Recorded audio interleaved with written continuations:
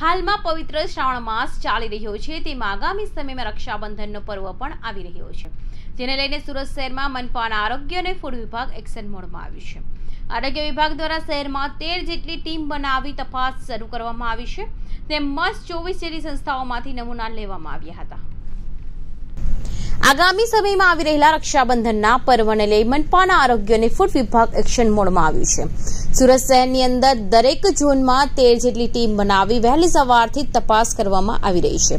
આરોગ્ય વિભાગની ટીમ દ્વારા ચોવીસ જેટલી મીઠાઈઓ વિક્રેતાઓની સંસ્થાઓમાંથી માવાના નમૂના લેવામાં આવ્યા હતા. આરોગ્ય વિભાગની ટીમ દ્વારા નમૂનાને લઈને સ્થળ પર જ તપાસ પણ કરવામાં આવી હતી. તેમજ કોઈ જગ્યાએ બેદરકારી સામે આવશે તો કાયદેસરની કાર્યવાહી કરવામાં આવશે, તે ફૂડ ઇન્સ્પેક્ટર હેમંત ગોહિલે જણાવ્યું હતું.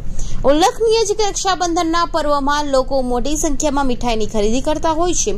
ત્યારે લોકોના સ્વાસ્થ્યને ધ્યાનમાં રાખી આરોગ્ય વિભાગ દ્વારા ઠેર ઠેર તપાસ કરવામાં આવી રહી છે. આગામી સમયમાં પણ આ રીતે નમૂના લઈ તપાસ કરવામાં આવશે તેમ અધિકારીઓએ જણાવ્યું હતું. એમ જે રાણા સેફ્ટી ઓફિસર સુરત મહાનગરપાલિકા.